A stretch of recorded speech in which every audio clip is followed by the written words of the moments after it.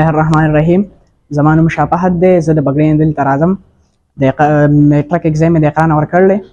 نو څنګه چې تاسو ته پته ده چې انګلیش او کمپیوټر چې دی د وخت ضرورت دی او د وخت د تېرېدو سره سره دا ضرورت ډېر زیات زیاتېږي نو په دې په وجه مونږ ایکسپرټ اکیډمۍ ته زه راغلی یم دا مې جوین کړله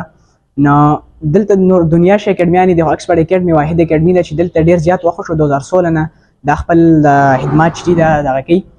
نو دلته انګلیش زده کول لپاره مونږ چې څنګه رادند شو د ګیټ نه زمونږ نه یو قسم اخیستی دی لکه چې مونږ به د یو بل سره په انګلیش کې خبرې کوو چې کلاس ختم شي یا په کلاس په دوران کې مونږ د یو بل سره په انګلیش کې کنورسیشن کوو نو یو شی د پریکټس نه بغیر نه راځي نو مونږ چې یو بل سره کنورسیشن کوو نو دا مونږ له ډېره زیاته فایده راکړي پاتې شو د کمپیوټر خبره زموږ سره یو ښه ویل ټیلنټډ او ویل کوالیفاید ټیچر دی هغه انګلیش وړو ته ډیر زیات ښه په مینه باندې ښي چې څو پورې نه پوه شي بار بار دغه ښي نو تاسو ته هم چې دلته راشئ او ډیر زیات ښه ماحول دی خبرې په انګلیش کې دي غلط غلط په وای خو زده به کې دې سره زده کړیږي پریکټس سره هر شی راتلی شي نو دلته راشئ او که انګلیش زده کول غواړئ نو بل ځای ته مه ځئ ثانک یو